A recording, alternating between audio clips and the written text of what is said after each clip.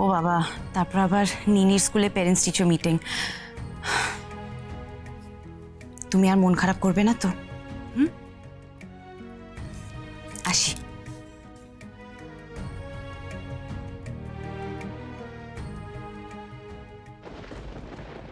ভাইয়ের ওপর বিশ্বাস রাখো, মন খারাপ নয়। হুম?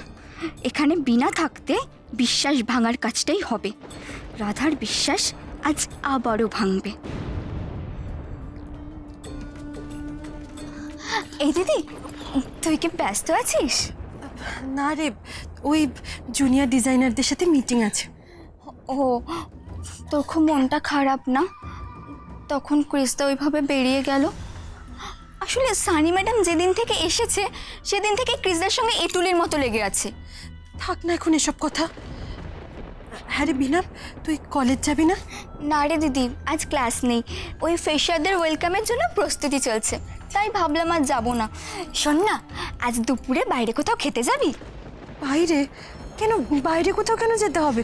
ঘরেতেই তো রান্না করব। আরে মাঝে মাঝে বাইরে যাওয়া ভালো মুডটা চেঞ্জ হয়। আর জানিস আমাদের কলেজের বন্ধুরা বলছিল ওই ব্রেবন রোডে একটা ভালো রেস্টুরেন্ট হয়েছে চাইনিজ রেস্টুরেন্ট। চল না। না রে আমার এখন ইচ্ছা নেই। কেন যাবি না? চল না আর আমি যবে থেকে কলকাতা এসেছি আমি তো কোনো রেস্টুরেন্টে খাইনি বল। চল না দিদি। চল না। এই ঘরে বসে থাকবি আর এইসব কথা নিয়ে ভাববি। তার থেকে ভালো চল দুজন মিলে খুব মজা করব। আচ্ছা আচ্ছা ঠিক আছে যাব। আই শোনা দিদি।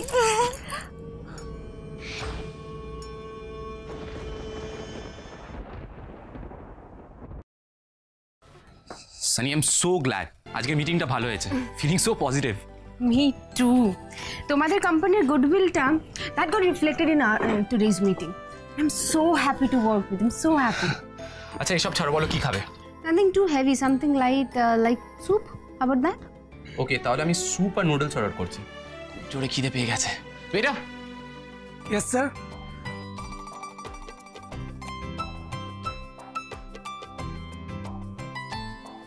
I must say Krish আমি যে ডিজাইন স্যাম্পলস দেখেছিলাম তার থেকে রাধার এবারে ডিজাইনস তাহলে so so so much better I am so proud of her তুমি জানো রাধার ডিজাইন আর থটস আমি যখন প্রথমবার দেখেছিলাম আই ওয়াজ সো অ্যামেজড আমার আঁকাটা হয়ে গেছে। আপনি দেখুন।